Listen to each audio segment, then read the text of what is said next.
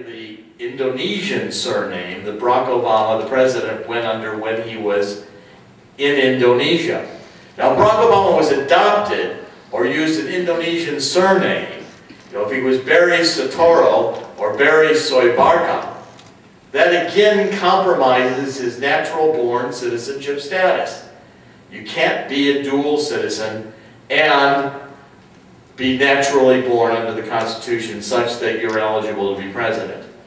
Now, I presented all this documentary evidence, and I'm going to go in a minute here to switch over to show you in the birth certificate. I wanted to keep on time so we can have enough time for questions. This is a photograph of uh, Scott Inouye, who is now a chiropractor in Honolulu. I've talked to him on the phone. And Barry Soetoro, or Barry Obama, it says Scott and Barry, third grade, 1969. Now the problem with this photograph is that in 1969, Obama says he was in Indonesia. So now, he's not only born in two hospitals, he has the remarkable ability to go to school in Hawaii when he's supposed to be going to school in Indonesia. Which means that the entire life story is probably a fabrication. It's a fabrication designed to take this story, complex story, and create a fictional identity. These are the pictures of Obama in the kindergarten classes. Oh, and, and I guess I will do this one last. This is a, a stepsister who recently died in Indonesia that nobody knew about. Yet she's holding a uh, a toy monkey, stuffed monkey that was given to her by Barack Obama's grandmother. And she visited them in Hawaii. And, and she evidently was very close to Obama when they were in Indonesia. He never once mentioned her.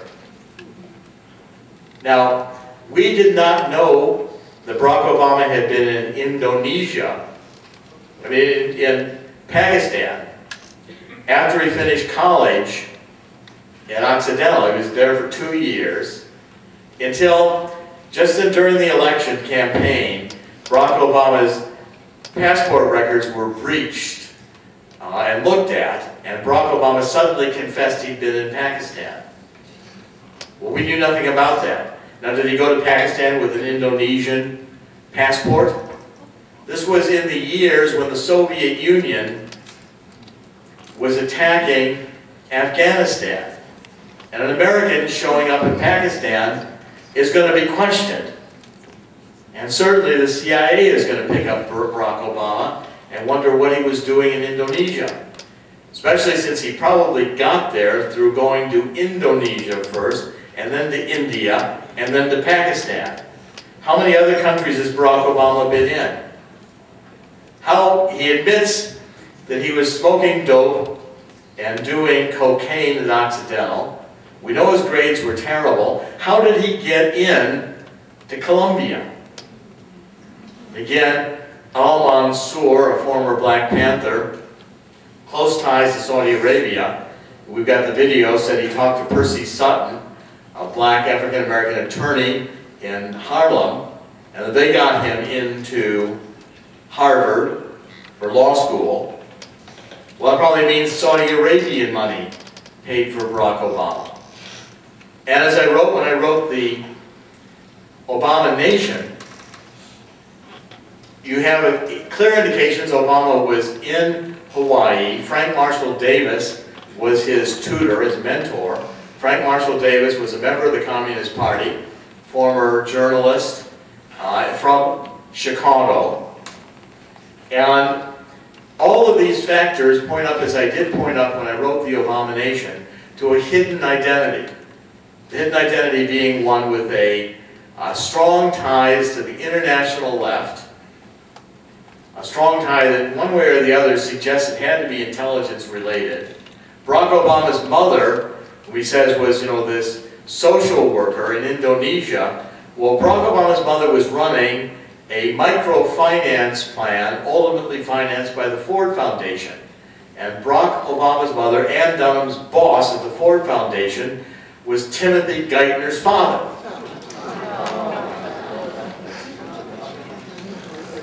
Okay, now this doesn't all start to sound convenient enough for you. I don't know what will. And the pieces that are missing, you know, Barack Obama should just come forward and tell the American people the truth. Let's see his travel records, his passport records. How many passports did he have? Let's see the records from Indonesia. How did he get into these schools? Who paid for it? What were his grades? Barack Obama Sr. has hidden every piece of his identity. Well, I begin the book by saying that there were these nine people, young people working in Davenport, Iowa. They were in a, in a company that serviced the student loans for the federal government. They amused themselves by looking up the student tuition and, and uh, scholarship or, or to borrowing by students who were famous, later movie stars and the such, and didn't get any bother with it. But the moment they looked up Barack Obama's scholarships, his student aid from the federal government, the next day the FBI shows up. So all of Barack Obama's records are sealed. You can't see them. He refuses to allow the American people to know who he is from a documentary point of view. And for me, when I'm an investigative reporter, when you can't see the documents, when politicians will not show you the documents of their past, you know they're lying. And they're lying because there's parts of their identity they don't want you to know. So the question, where's the birth certificate, or where's the real birth certificate, is really a question about what is the identity of Barack Obama. Three years in the into the presidency, we really don't know who this guy is. And he's now about to tell us. Now I want to shift gears and show you the uh, birth certificate that was released. This is the birth certificate that was released by the White House on April 27th. And we're going to go through a little bit in terms of the uh, analysis of this. First, let me go to the Adobe file. I want to, uh, so this is the in Acrobat, looking at it. You see this number? I'm going to show you some reasons. After I show you a few things about this, you'll see why it's pretty clear that it is a fake document. You see the number 10641? That's the birth certificate number. Now watch the 1 in the right-hand corner as I increase the magnification. And you're going to see a dramatic change in how, look at how the last one looks different from the uh, numbers before. Much lighter, very different in tone. As we magnify it, that gets even clearer. You see the one, how you can see the pixels show up. It's not bitmapped. It's got all those pixels to it. It's a lighter color. As we increase the magnification, that gets even clearer. Look at that one. What you have there is an indication of a changing of the number. In fact, if you look at the 4, the 4 looks to many experts like it originally was a 3 that had been modified to be a 4. And there's a good argument that Obama's birth certificate was made from a composite of existing birth certificates. The Nordyke twins had released their birth certificates. They were born right at this, about the same time as Obama, really you know, like a day later. And their birth certificate numbers were lower, 10637 and 10638. Well, it's hard to explain how Barack Obama got a higher number, even though he was born earlier. And I think that the forgers got locked in when they released the certificate of live birth, that short form. When they finally gave it a number, they gave it the wrong number. And what they've been stuck with is having to modify all the birth documents. I mean, look at how clear that is. Can you see that? Even though it's tough to see the board that far away, I think it should be obvious how different that last one is from the other numbers. Does everybody see that? Okay, now if we go back to the document itself, to the, um, here's the Obama I want to get it in, uh, Illustrator.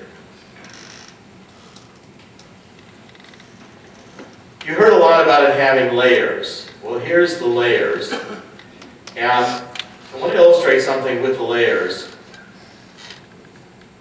If, if we click on different ones of the layers here, for instance, if we click on this second layer here, on the bottom, you're gonna see how easy it is to modify this document. I made the text go away. That text was all one layer.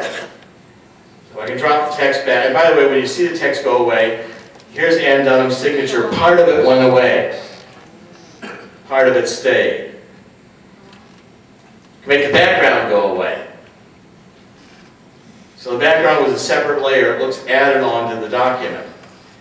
Then I can take various parts of this document and show you that they are separate groups. You see how this came up over the number? Well, I can take that number, I can move it around anywhere I want to in the text, I get rid of it. See, it's gone now. Or we can take the uh, number here, another layer on this document, and get any of these elements to be separately identified and moved around.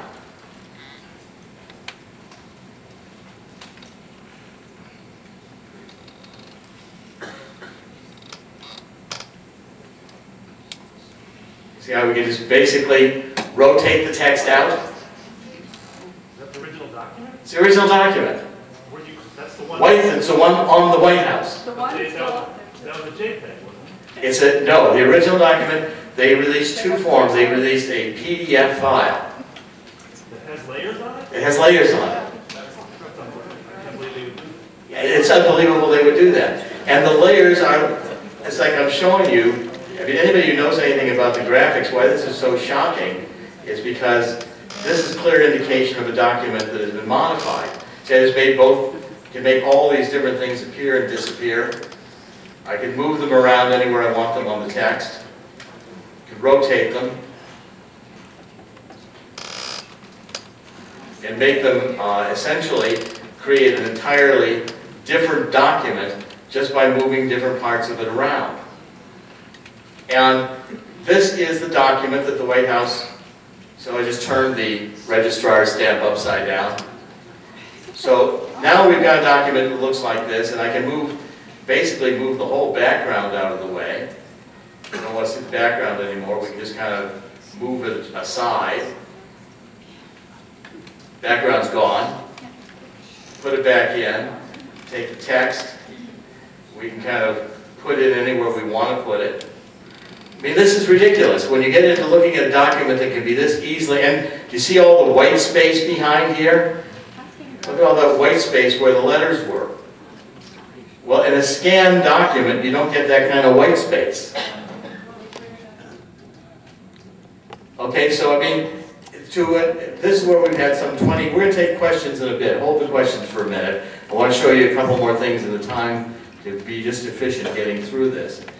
But anybody who knows anything about Photoshop or Adobe Illustrator, the Adobe software, if you scan a document, the document's going to come off all in one layer, so you can't just move things around and change things. Scanned documents don't have these white halos behind them. Well, the White House has said, oh, well, we, um, we did uh, OCR, optical character recognition, and we optimized the document. Well, I'm sorry, there is no table created. Optical character recognition recognizes words and puts them into word